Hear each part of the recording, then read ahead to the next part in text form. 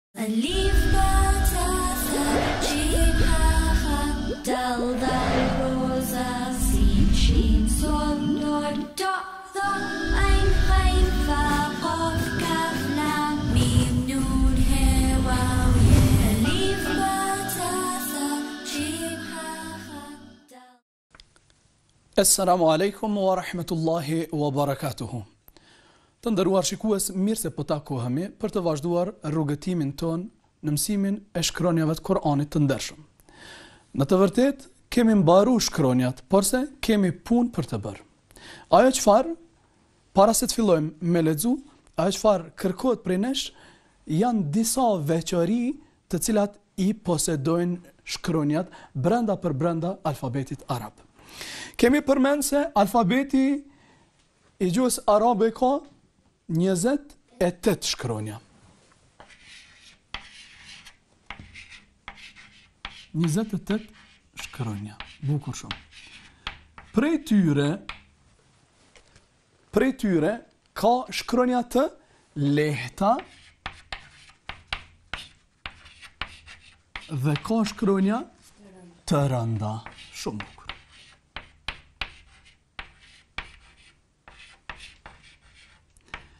Ajo se si kemi mësuar ne shkronjat, nuk ka qenë renditje alfabetike, por ka qenë një mundësi Për me i mësu shkronjat fillimisht që kanë formën më të lehtë, më pastaj te shkronjat të cilat kanë një formë ndoshta pak më të rëndë se ajo, në të shkruar dhe në të shqiptuar. Sot do të mundohemi me tregu se cilat janë shkronjat e lehta dhe cilat janë shkronjat e rënda. Prej 28 shkronjave, po i dajmë, themi, në dy kategori. Shkronjat e lehta ne i llogarisim 18. Ndërsa na mbesin dhjetë të tjera shkronja të rënda. Cilat janë ato? Shkronjë e lehtë, elif është shkronja e parë. E, i, u. Më pastaj, shkronja e dytë është shkronja b. Është shkronjë e lehtë apo shkronjë e rëndë? E lehtë. E lehtë, për arsye se fetha mbi të lexohet e Nuk lexohet a dhe tenvini en lexohet en mbi të, nuk bëhet an. Më pastaj kemi shkronjën tjetër, shkronja t. Është shkronjë e lehtë. Elif, elifun, baun, taun. Gjithashtu shkronja tjetër është tha un. Shkronjë e lehtë. Xhimun. E para, e dyta, e treta, e katërta, e pesta, shkronja të lehta. Ndërsa shkronja tjetër, vijuese, është shkronjë e rëndë. Cila është? Shkronja ha, ha un. Pas sajna, shkronjë e rëndë po ashtu, shkronja kho un. Shkronja tjetër është shkronja dalun. Shkronjë e lehtë. Shkronja tjetër e lehtë shkronja dhalun. Sipas renditjes alfabetike, mas dhalit vjen shkronja rë, që kemi përmend shkronjë e rëndë. Roun. Më pastaj shkronja zaj. Zajun. shkronjë e lehtë. Pas saj vjen shkronja sin.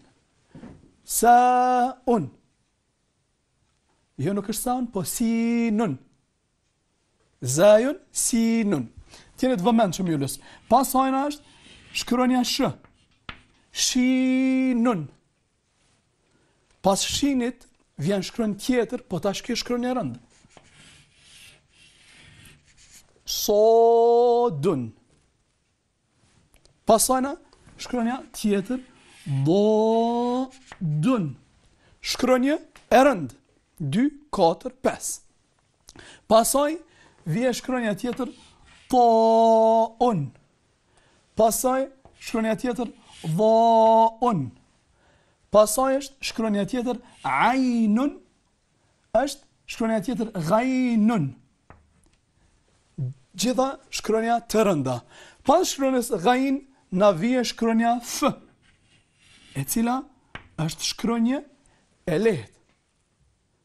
Kemi të qartë? Pas shkronjës F, na vjen shkronja kof, që është shkronjë e rëndë. Pas shkronjës kof, na vjen shkronja kaf e lehtë. Pas kafit, vjen shkronja lam. Pas shkronjës L, na vje shkronja M. Mimun. Pas shkronjës M, na vje shkronja Nun. Më pastaj shkronja Uau, shkronjë e lehtë. Shkronja H, dhe shkronja J. Anipse për renditjen e Uauit edhe H-së, disa e qesin Uauin përpara, disa e qesin Han përpara, nuk çon naj farë peshe apo nuk ka naj farë rëndësie. E rëndësisë së veçantë është se cilat shkronja janë shkronja të lehta dhe cilat shkronja janë shkronja të rënda. Edhe një herë ju lus. Shkronja të lehta janë 18. Ashtu ne Po i marrim tetëmbëdhjetë. Ndërsa shkronja të rënda dhjetë.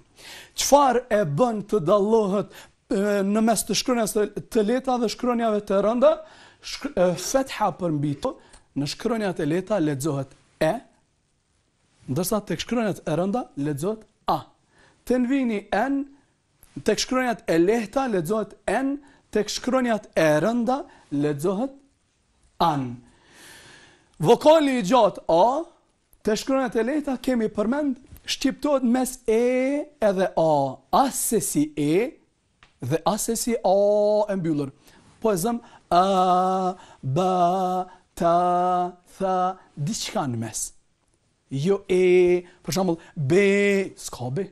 Po s'mundesh s'mundesh me thon as bo se është shkronjë e lehtë. Për dallim prej kësajna, në shkronjat e rënda vokali i gjatë a është i mbyllur plotësisht. Për shembull, to, dho, kho, ro e tjera. Kuptoni? Është e qartë deri këtu në rregull. Ë uh, duhet me pas një kujdes kur jemi te shkronjat e rënda. Edhe pse tash janë gjitha shkronja të rënda, nuk shqiptohen gjitha njëjtë. Po e zëm, shkronjë rë. Shkronjë e rëndë gjithsesi. Fetha mbi të lexohet a. Ajo shqiptohet, shkronja rë në arabisht, shqiptohet e rëndë kur ka fetha, fetha, dhe kur ka dhamme. Shqiptohet gati sikur shkronja jonë rë. Porse, gjithsesi duhet me rujt veçorinë e të qenurit e rë.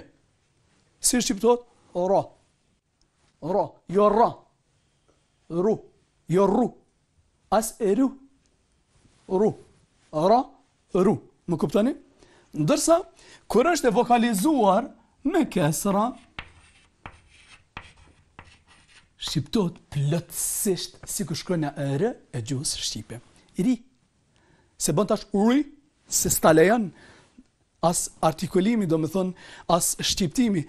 Shqiptohet e ri. Shqiptohet e rëndë kur ka fetha dhe dhamme, ndërsa shqiptohet e lehtë atëherë kur ka kesra. Jemi të qartë deri këtu? Më pastaj, kemi shkronjen ha, kemi shkronjen ajn, edhe kemi shkronjen gajn.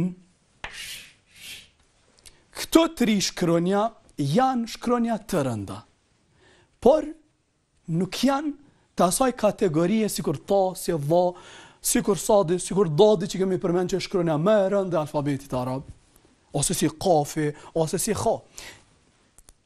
Kur janë vokal i gjatë a, këto gati shqiptohen ngjashëm me shkronjat e lehta. Për shembull, ha,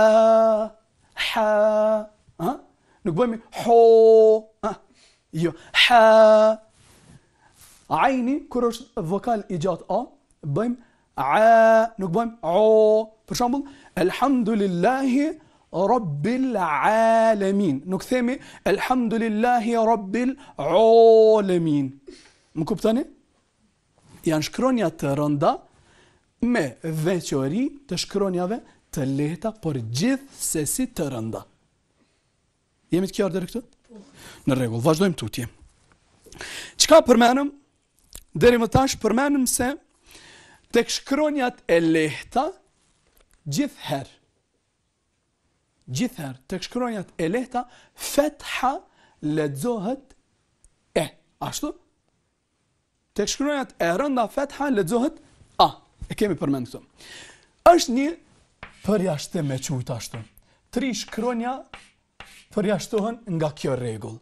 Kur fetha në shkronjën e lehtë lexohet A, më kuptoni? Cilat janë ato tri shkronja? është elifi, më pastaj kemi shkronën sin, edhe kemi shkronën nun. Fetha mbi to, ka herë po lexohka a. Kur lexohet fetha përmbi to a, kur pas tyre, na vje shkronja e rëndë me sukun. Më kuptoni? Pas këtyre që kanë fetha, na vje shkronja e rëndë me sukun. Shkojmë. E, fetha, fetha. Kjo po bajka na, kjo po bajka sa, kjo po bajka a. Kur shkronja pas tyre paska sukun. Po e lexojmë. Al, po. A, me, hum. A mund të lexohet at'amahum? Mund të lexohet, por ani është për me lexu at'amahum. Prej krejt kësona është ky dallim. Ose për shembull kemi diku nëse nuk gaboj faqja 17, fillon kësisoji. Ma nan sakh.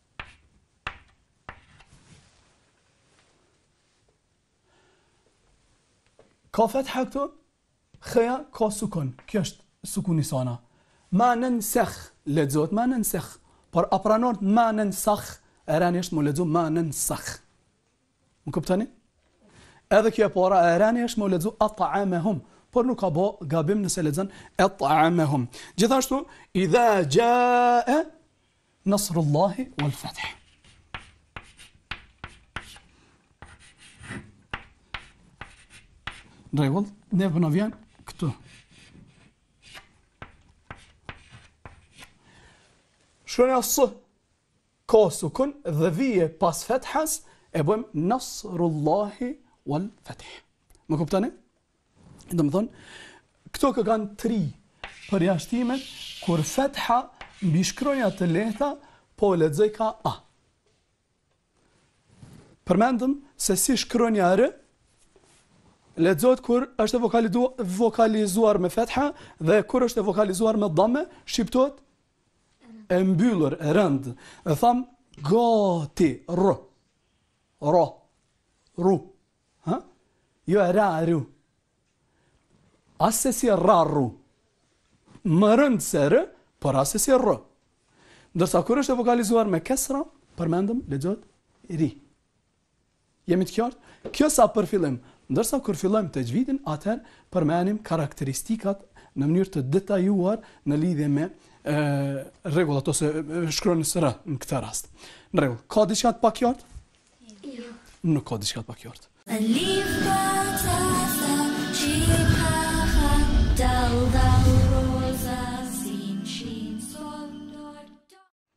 Vazhdojmë tutje. Në vazhdim po i përmendim edhe pse i kemi përmend fillim, por po i ritheksojmë. Dhe ju lus të jeni të kujdesshëm. Në këto që i kam shpjegu ma herët, e që shpjegojmë tani, por edhe në ligjeratat në vazhdim. Kemi përmend se janë gjashtë shkronja,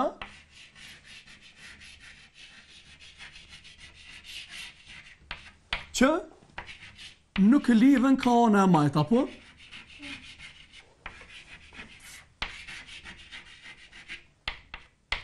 nga ana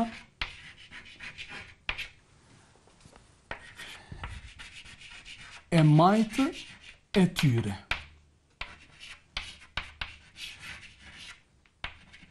Cilat janë ato? E para prej tyre është elifi. A pranon elifi me u lidh ka ana e majtë? Jo. Në asnjë mënyrë. Pse s'pranon elifi me u lidh ka ana e majtë?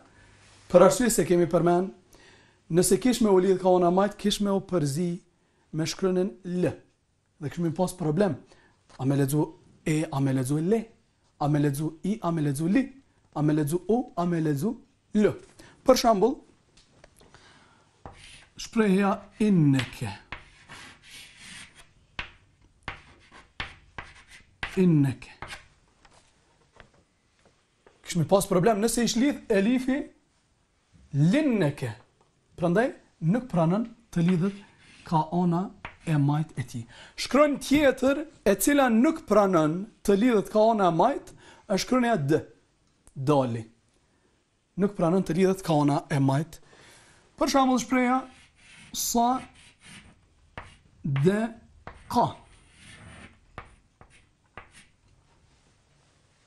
Nëse ish lidh me kafin, kish me qenë problem, a është hë, a çfarë është kjo shkronjë? Sa he ka, sa de ka, sa be ka, çka po bjen kjo? Prandaj, domethënë, nuk pranon të lidhet ka ana e majtë e saj. Shkronjë tjetër, e cila nuk pranon gjithashtu të lidhet nga shkru, nga ana e majtë e saj, është shkronja dhë. Po marrim shembullin dhe he be. dhehebe. Nëse kish me u lidh ka ana e majtë e saj, kish me pas problem. A dh, a n. Nehebe, për shembull. Dhehebe. Prandaj, nuk pranon lidhje ka ana e majtë e saj. Shkronjë tjetër, e cila nuk pranon lidhje ka ana e majtë e saj shkronja r. Për shembull, ru zi ka.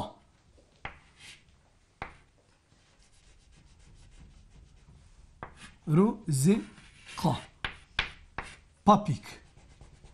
Ruzika. Shkronjë tjetër, e cila nuk pranon të lidhet ka ana e majtë e saj, kemi përmen, është shkronja z. Po e zëm, zuh, zuh, Zi Ha As s'është lidhë këtu, as nuk lidhet këtu. Nuk pranon të lidhet ka ana e majtë e saj. Dhe shkronja, shkronja e fundit ose e gjashta, që s'pranon të lidhet ka ana e majtë e saj është shkronja uau. Për shembull, we, le, hum. We, le, hum. Më kuptoni? Çfarë ishte kjo rregull? Gjashtë shkronja të cilat nuk pranojnë të lidhen nga ana e majtë e tyre. Pse u përmend gjithë kjo? Për shkak që mos me u pshtjell leximi, mos me u ngatrru shkronjat.